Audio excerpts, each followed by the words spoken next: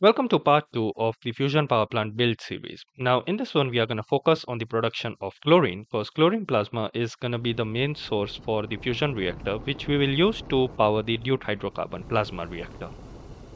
So this is going to focus a lot on the bedrock ore processing part because for producing chlorine there are not a lot of ways you can go around it. It's a pain to produce. Also make sure to vote in the poll which I made for the deuterium oxygen or the helium 3 plasma. Anyways, so let's start by first taking a look at chlorine, so we can make it. So we have chlorine pinwheel, which is an infinite source. However, you will need to find a lot of these because chlorine will be consumed at a rate of 400 millibuckets per second. So chlorine pinwheel is out of the option. Now for producing chlorine gas, we have molysite, soda light, uh, chlorocalcite, stuff like that. However, the main source I'm going to use here is going to be vitriol because this one will give chlorine, sulfuric acid, iron and mercury. However, it is pretty easy to produce as it doesn't require any high performance solvent, which once again takes chlorine to make. So that's that. So I'm gonna place a lot of these large mining drills here. And this one will give us a continuous supply of bedrock ore. With speed 3, you get a bedrock ore every 48 seconds. So to get an entire stack of bedrock ore, it takes roughly 52 minutes something like that. So yeah, in like an hour or less than an hour, you are gonna get an entire stack. We have four of these, so we are gonna get four stacks. Now we first start this entire chain by placing down the bedrock ore processor itself. So this one requires power, water, and the bedrock ore itself to run. So for water, we need to place down either a infinite barrel or the groundwater pump and make sure there is ground beneath it like grass it won't work on stone concrete stuff like that. So the groundwater pump and the bedrock ore processor these is going to give us the initial six types of different bedrock ores. Six or less than that but yeah that is what the output is going to be for the bedrock ore processor. Then we place down a first pyrolysis oven connect these two machines using a conveyor line and the ejectors all of the ejectors in this entire video will have an ejection speed upgrade so yeah, that's the default. Next up, we place the ore acidizer, which is gonna wash the basically ore, the bedrock ore that the pyrolysis oven is going to roast. And the ore acidizer will have a speed 3 power 3 upgrade set it to water. Don't forget that. And the oven, by the way, yeah, the speed 3 and power saving 3 upgrade.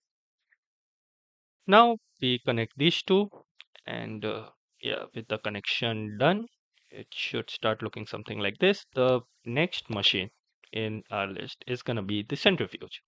Because when we wash these bedrock ores, we need to process them in a centrifuge. And this will give us the primary fraction of the bedrock ore. So there we go. We have placed down the centrifuge. And when we process things in a centrifuge, we will get the primary fraction and along with that gravel. Now gravel is useless, so that is where the second output here comes in. And uh, for this one, we have gravel as whitelisted, and it's just gonna go in an inserter which has its uh, basically overdrive, or not overdrive, the overflow destroy mode on. So that's that. As for the primary fraction, it's gonna end up in a second pyrolysis oven. Because remember that every operation that we do in a pyrolysis oven, we are gonna get 50 millibuckets of vitriol. And we wanna maximize the amount of vitriol we can get, so we can maximize chlorine. So that's that. So with that done, the pyrolysis oven placed, we now place a buffer tank down for vitriol. And now it's time to start connecting some pipes. So first thing first, both of the pyrolysis oven are gonna produce this thing. So we connect this and this time I'm using pipe anchors because hey, these are pretty fun to use actually. So yeah, that's connection done and uh, make sure to also set the pipe anchors themselves. With that the entire line will be set and I'm gonna place some steel grates here and make the final connection. And with that, both of the pyrolysis oven will now deposit their vitriol in the buffer tank. Same goes for water because uh, we want to supply water to the bedrock ore processor and also to the ore acidizer. So we connect the electric groundwater pump to these two machines, set the entire line to water. So that's the ore acidizer and with that, that's the bedrock ore processor. Also steel grates once again because these look pretty cool and if you were making an industrial build, this would fit in perfectly. All right, so from the vitriol, the output, the buffer tank of the vitriol, I mean, the output is gonna go in an electrolysis machine.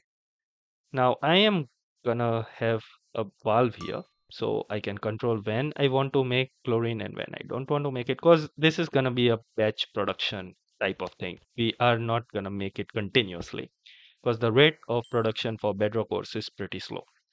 So the output is gonna be both the sulfuric acid and along with that chlorine gas. You can connect power however you would like to. I like using this kind of cable connector mixture. And with that, the pump will start running, the Bedrock ore processor will have power, and for some final setups, the pyrolysis oven should have an output because all of the roasted primary fractions need to go somewhere. So you can just dump them and also make sure to connect both of the pyrolysis ovens to any sort of smokestack. And the ore slope also needs to be drained. With all of that done, now we take one of each type of bedrock ore that we are producing from the four different types of drilling the mining machines and we start the process. But the thing is with a single bedrock ore processor, this entire process was very slow. Like even if this video was not speeded up, you wouldn't be able to do uh, see the machines do their thing because the machines are in overdrive mode. They are going wacko. So I just added a second bedrock ore processor and now we can see this entire thing in action.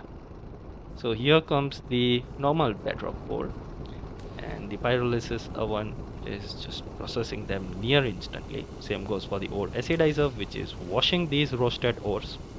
So the washed variant will then go in the centrifuge which will separate out the gravel and the primary fraction.